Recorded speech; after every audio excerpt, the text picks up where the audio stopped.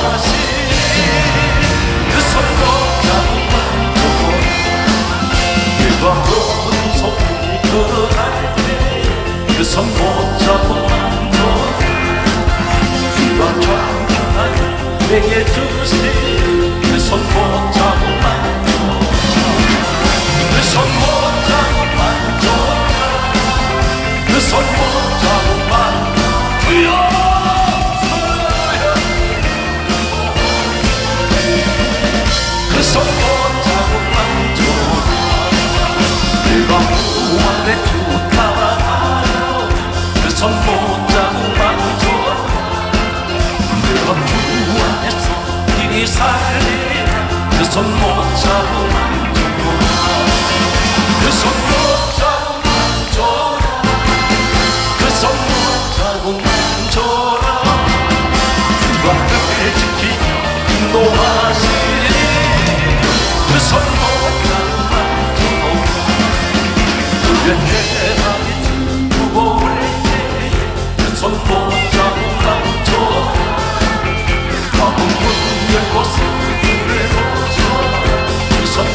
your.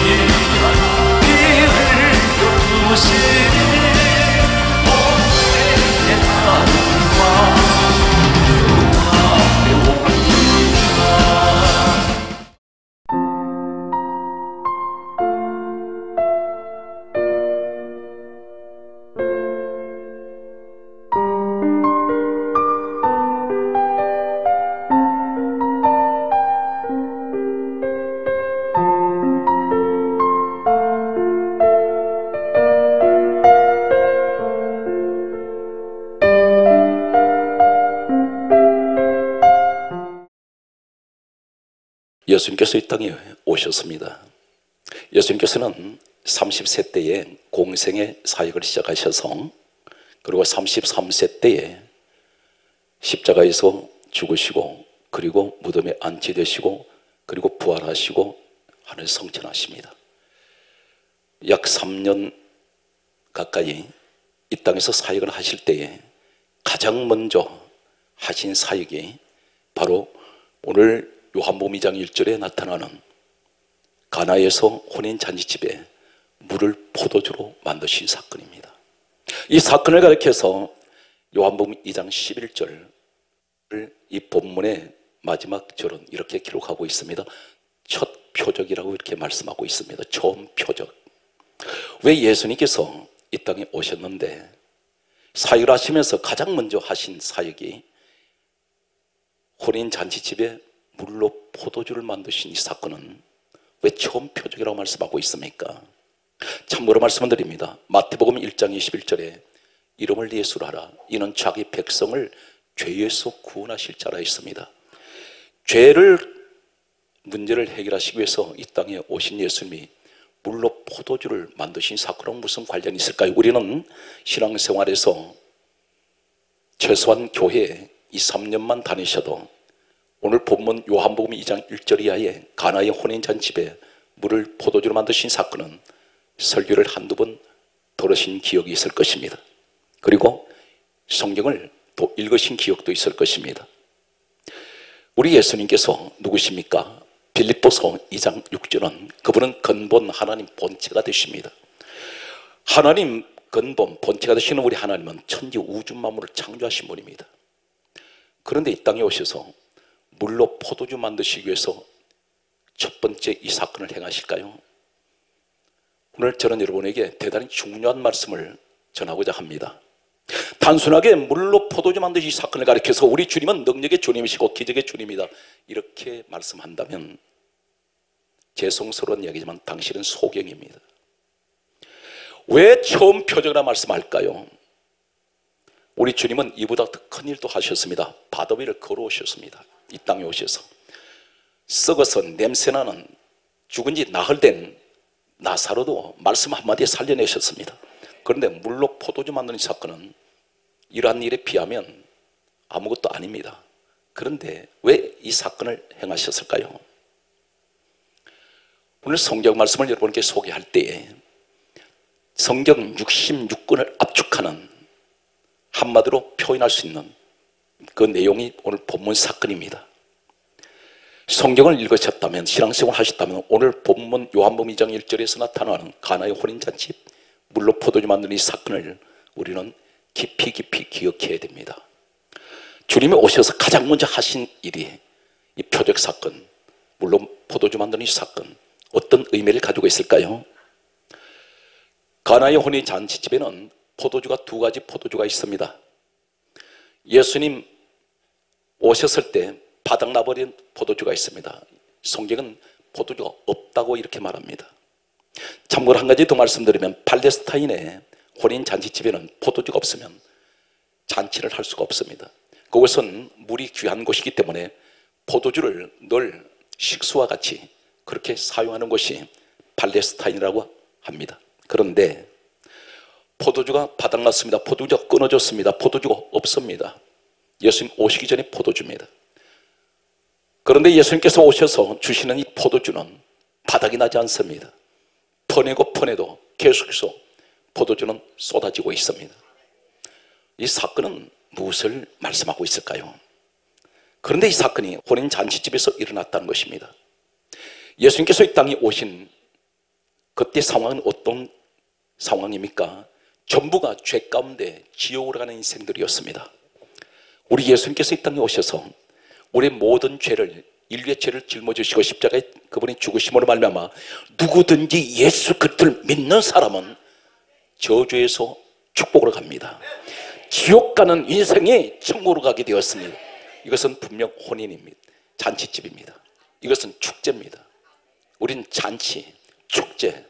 그러므로 예배 때마다 하나님 앞에 나올 때 잔치해야 됩니다. 축제가 있어야 됩니다. 오늘 예수님께서 오신 이 집에 오시기 전에 포도주와 오시고 난 후에 주시는 포도주는 어떤 의미를 가지고 있습니까? 성경에서 성경으로 여러분이 소개합니다. 주님께서 이렇게 말씀하셨습니다. 마태복음 26장 27절에서 28절 말씀은 주님께서 다음과 같이 말씀하셨습니다. 포도주를 주시면서 하신 말씀이 받아 마시라. 이것은 죄 사함을 얻게 하려고 흘리는 바 나의 피, 곧 언약의 피다.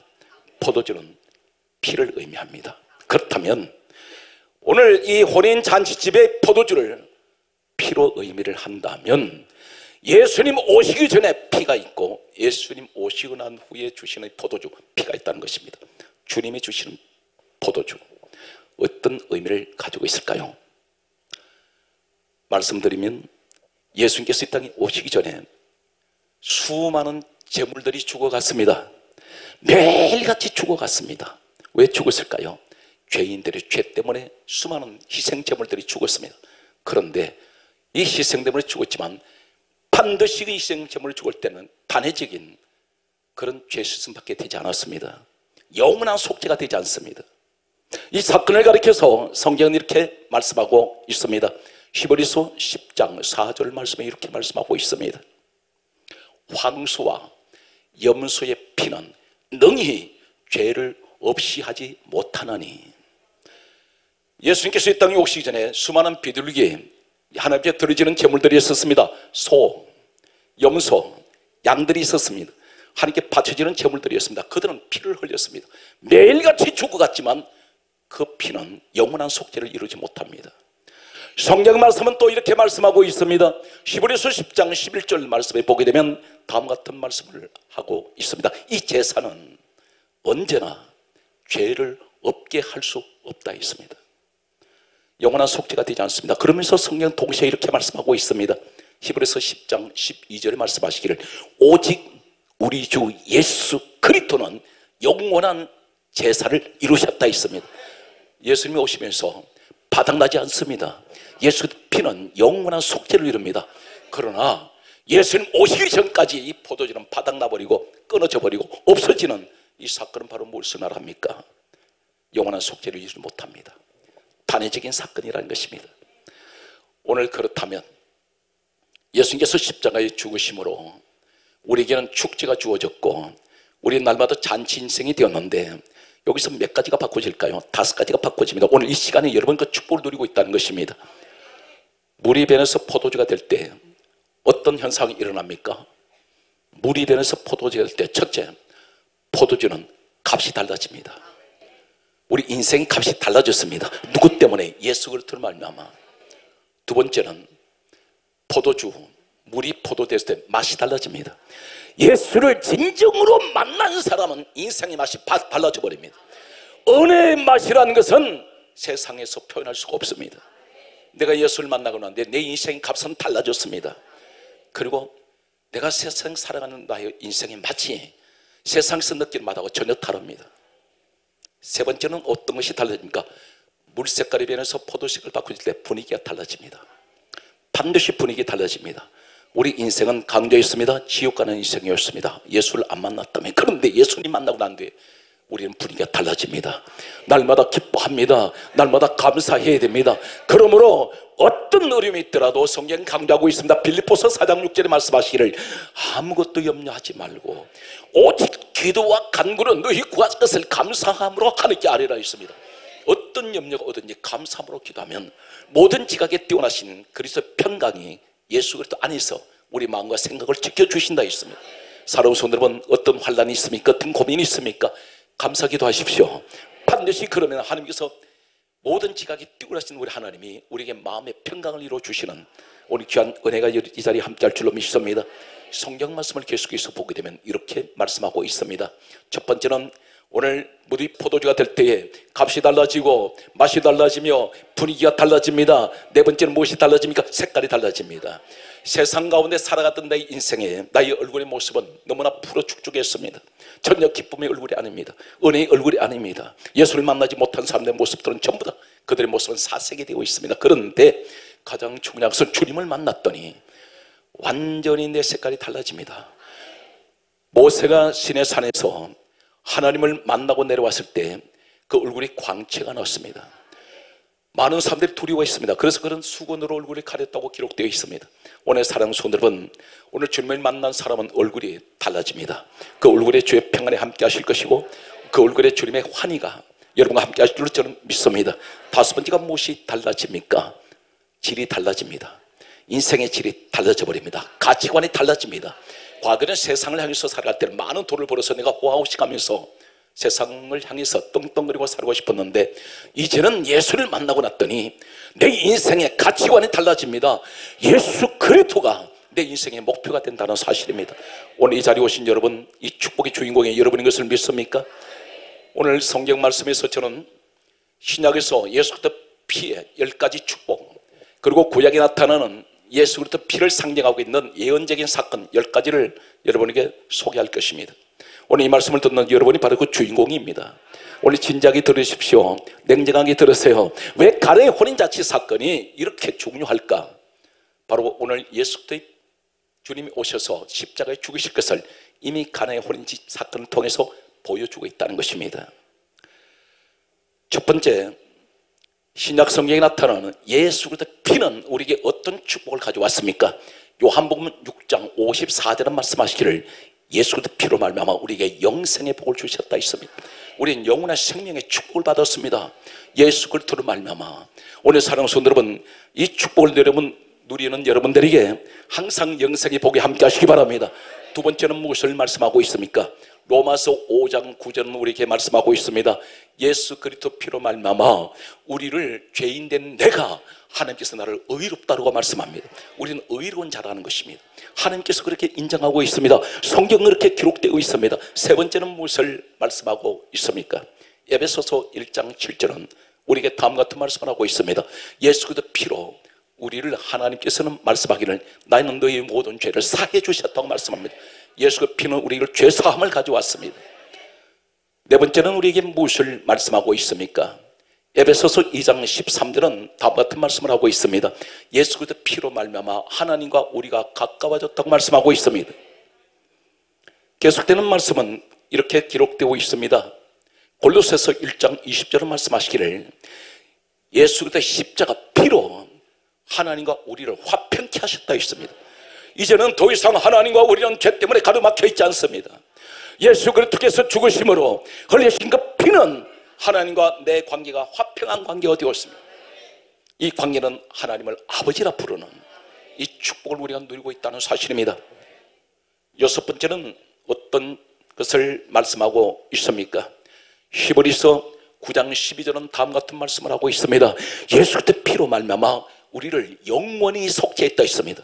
바로 이 사건이 예수님이 가나의 혼인자 집에 오셔서 주시는 이 포도주는 우리에게 영원한 속죄를 가져오는 목마르지 아니하는 바닥나지 아니하는 끊어지지 아니하는 이 속죄의 피가 영원한 속죄 다시 말해서 예수 그리스도 피로 말미암아 나는 이 축복을 누리고 있다는 사실입니다. 일곱 번째는 무엇을 말씀하고 있습니까? 히브리서 13장 12절은 다음 같은 말씀을 하고 있습니다. 예수 그리스도 피는 우리를 거룩하게 만들었다고 했습니다. 우린 거룩한 사람이 되었습니다. 하나님께서 말씀하시기를 내가 거룩하니 너도 거룩하라 했습니다. 오늘 천국의 백성은 모두가 거룩한 사람이 되는데 어떻게 하면 거룩하게 될까요? 예수 피가 아니면 거룩해질 수가 없습니다. 여덟 번째는 무엇을 말씀하고 있습니까? 신약 성경에 나타나는 예수 그리스도 피의 축복은 여덟 번째는 요한일서 1장 7절에 말씀하고 있습니다. 예수의 피는 우리를 모든 죄에서 깨끗하게 하셨다 했습니다. 성경 말씀은 계속해서 이렇게 말씀하고 있습니다. 아홉 번째는 계시록 1장 5절은 이렇게 말씀하고 있습니다. 예수 그 피는 우리를 죄에서 해방시켰다 했습니다. 우리는 더 이상 죄의 종이 아닙니다. 죄에 묶여 있지 않습니다. 예수 그리스도 안 있는 사람은 이 피, 다시 말하면 예수의 피는 우리를 모든 죄에서 자유함을 주셨고 해방시켜 주셨습니다. 오늘 그러므로 우리는 날마다 주님께서 이렇게 말씀하고 있습니다. 무엇이든지 믿고 구하는 것은 받은 줄로 믿으라. 이 말씀이 무슨 말씀입니까? 하나님과 나서의 죄백이 없다는 것입니다. 열 번째는 무엇을 말씀하고 있습니까? 계시록 5장 9절은 이렇게 말씀하고 있습니다. 우리를 피로 사서 함께 도렸다고 했습니다.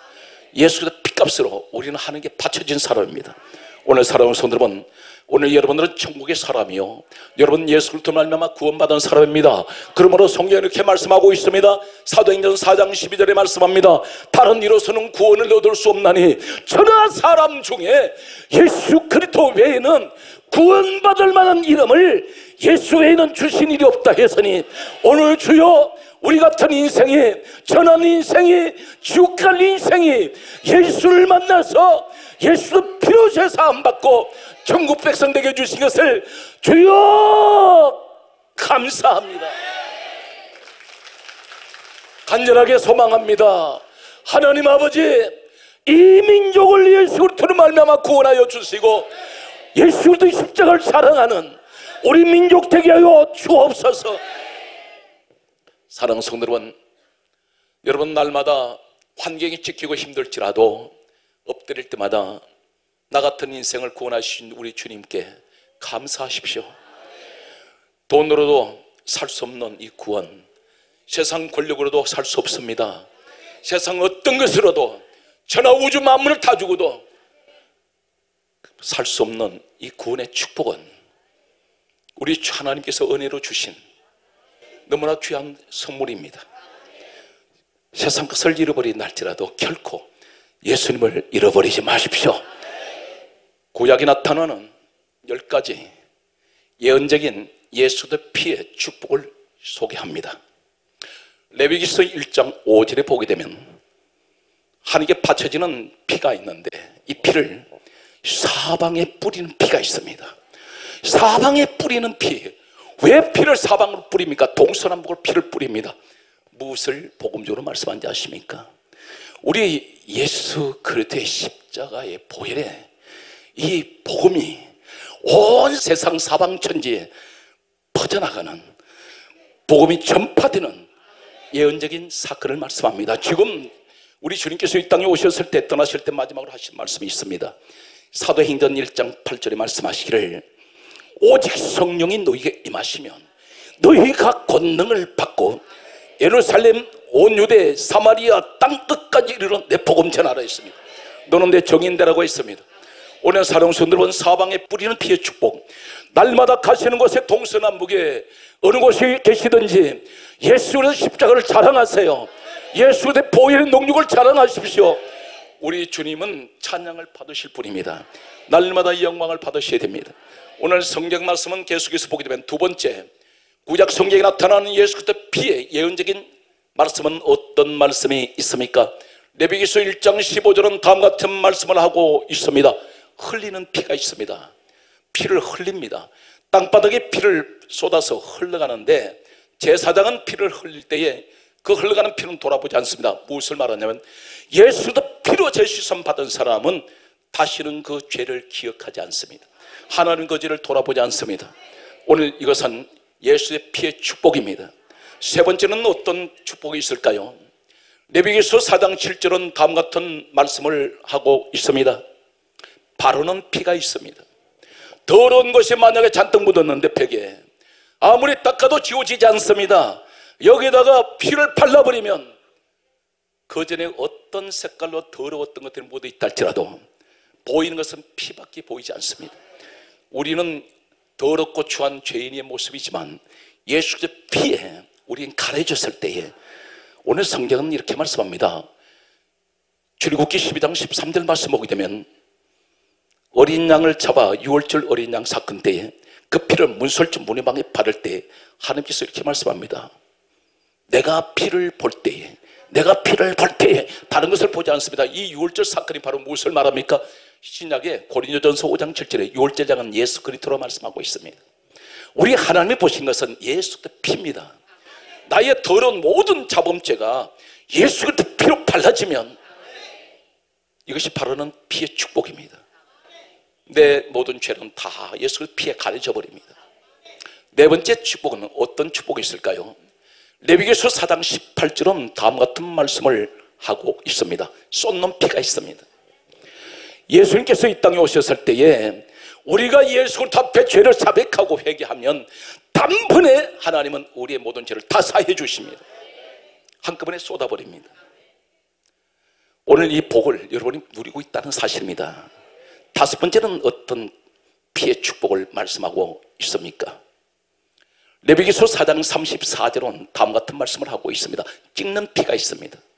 피는 같은 피인데 왜 이렇게 구별되어 있을까요? 피를 찍습니다.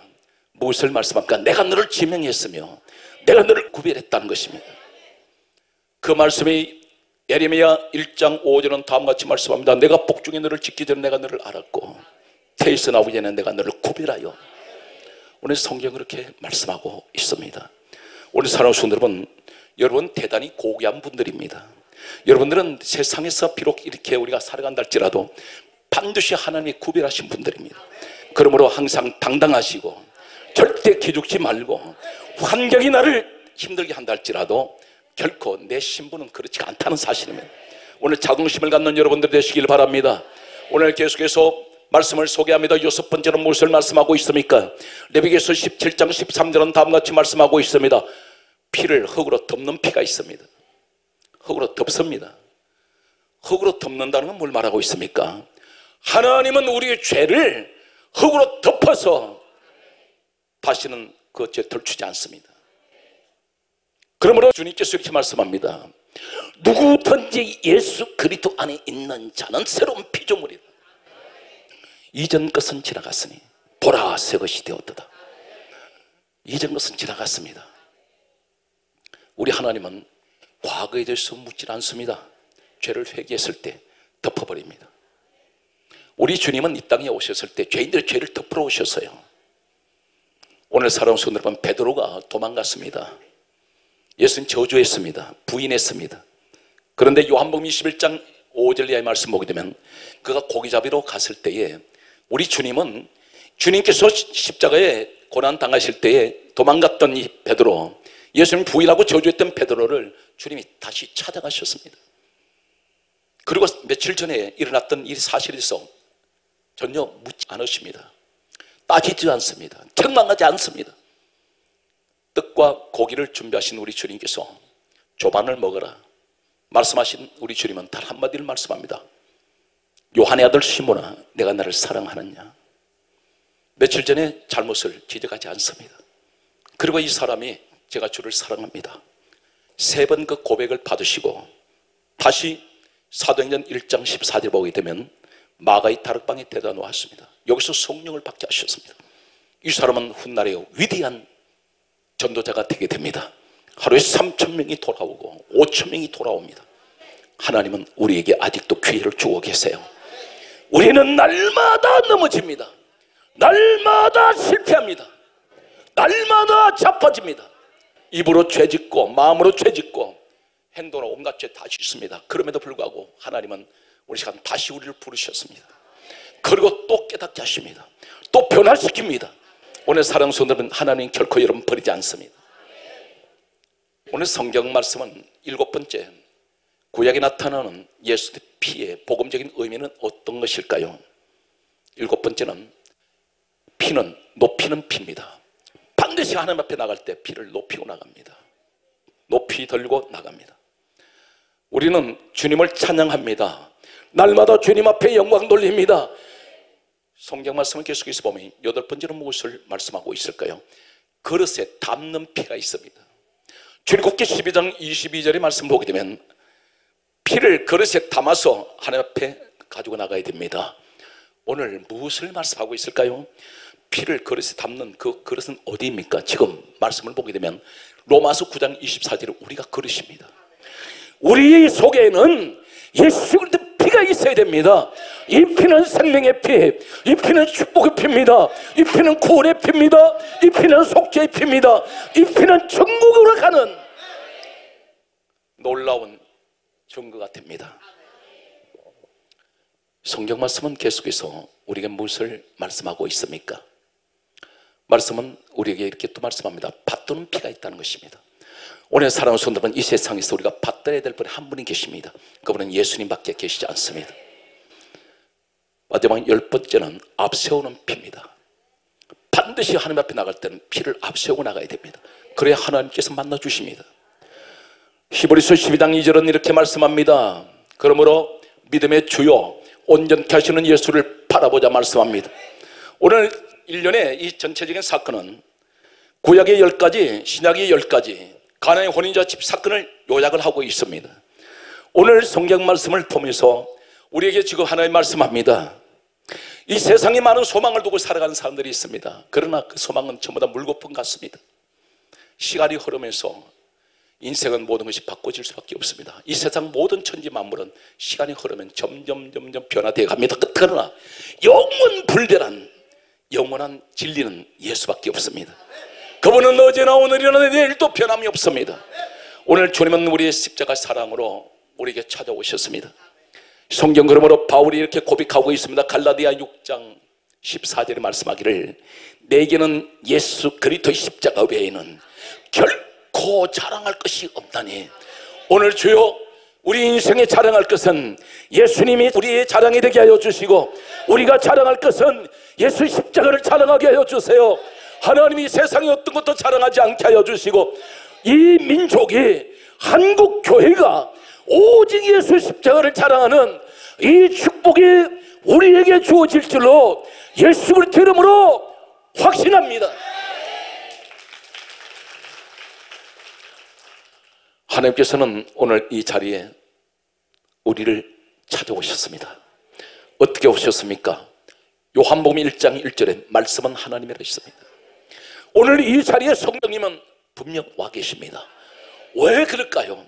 사도행전 10장 44절에 성령께서는 말씀 듣는 사람에게 찾아오신다 있습니다. 오늘 우리 이 말씀을 기억해야 됩니다. 성경에 기록된 이 말씀을 기억해야 됩니다. 요한복음 8장 47절에 말씀합니다. 하나님께 속한 자는 하나님 말씀을 듣는다 했으니 오늘 이 말씀을 제가 듣습니다. 저는 하나님 내 자신을 다시 한번 돌아봅니다. 나는 예수 그리스도 피로 나는 죄산 받은 사람이고 나는 분명 하나님 자녀가 되고 있습니다. 그러므로 이 시간 내가 일시적으로 찾아오는 순간순간 다가오는 여러 가지 환란과 고통 앞에 주여 저는 결코 잠시 것 같지만 나는 무너지지 않습니다. 반드시 주님이 계시기에 나는 다시 일어날 수가 있습니다. 십자가를 붙들게 해주세요. 이 십자가는 능력입니다. 십자가는 소망입니다. 십자가는 우리에게 생명이 됩니다. 주여 우리의 성도에게 하나님 힘든 이 세상을 살아갈 때 결코 세상을 바라보지 말게 하여 주시고 예수 그리스도의 십자가를 붙들고 다시 주님 앞에 나아갈 수 있는 우리 성도가 되게 하여 주시기를 주 예수 이름으로 축복합니다.